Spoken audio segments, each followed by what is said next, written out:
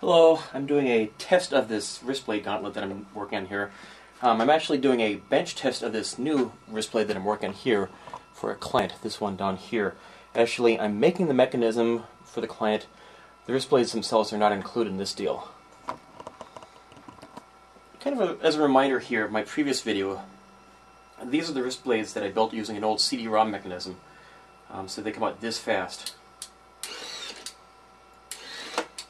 So extend, retract, extend, retract, that sort of thing. So anyway, here's the new version that I've been working on. I took the track from a, from the old CD-ROM drive, actually two of them back, back, to back, and recast them. Um, these here are the these here are the wrist blades that I'm making. These are just kind of a shop version because these the cast didn't come out right here, but that's not important. Anyway, so I took the track and recast that, took one of the big gears from that mechanism and also recast that. Then a couple more gears here from the from the hobby shop and the motors back here. So this is roughly how it works.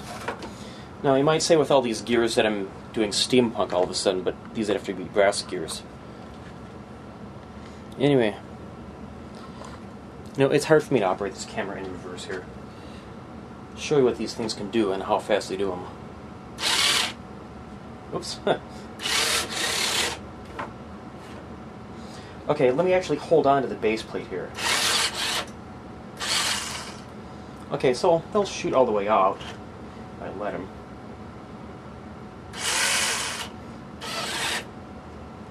Okay. They kind of caught on the on the this little bottom thing here. If you're using your own blades, then they shouldn't catch. You'll have to just mount, watch the way you mount these on the traveling block here. Anyway, here's how fast they extend. And here's how fast they retract. Kind of had to help them out in this example here.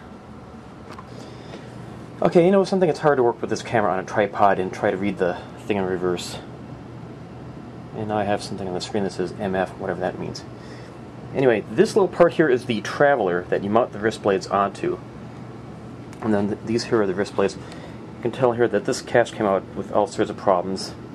That's why it's marked bad. This one also was bad because it didn't mix the material right.